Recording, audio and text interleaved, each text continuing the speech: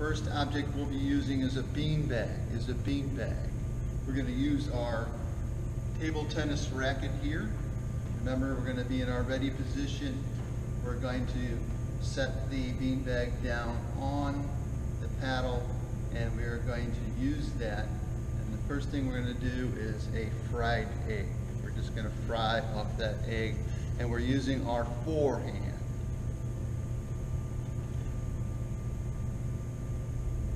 We'll turn that paddle over, we'll fry up that egg with using our backhand.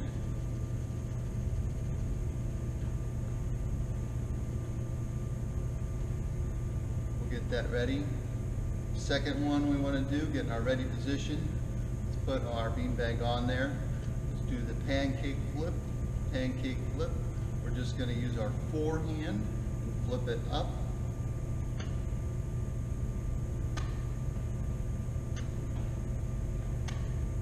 Watch that balloon, watch that beanbag with your eyes. Backhand.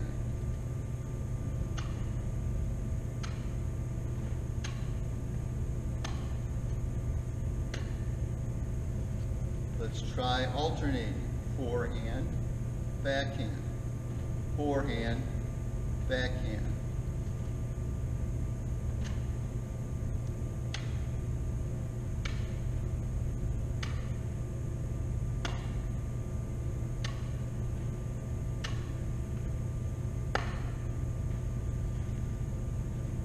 Let's try to balance that beanbag on our paddle and just travel around our area.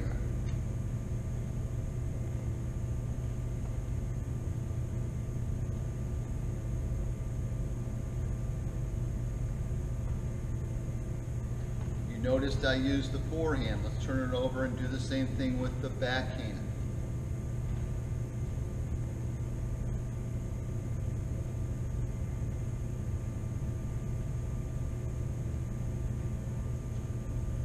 We can also do the same thing, just traveling and tossing our pancake flip.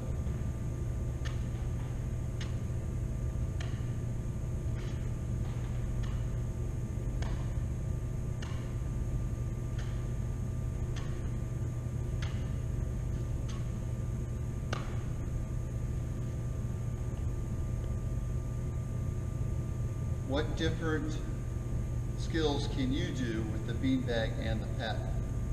Be creative, explore, do different things. Maybe you can flip and touch the ground.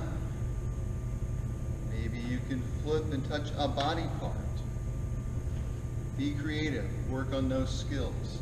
Use both the forehand and both the backhand. Your turn.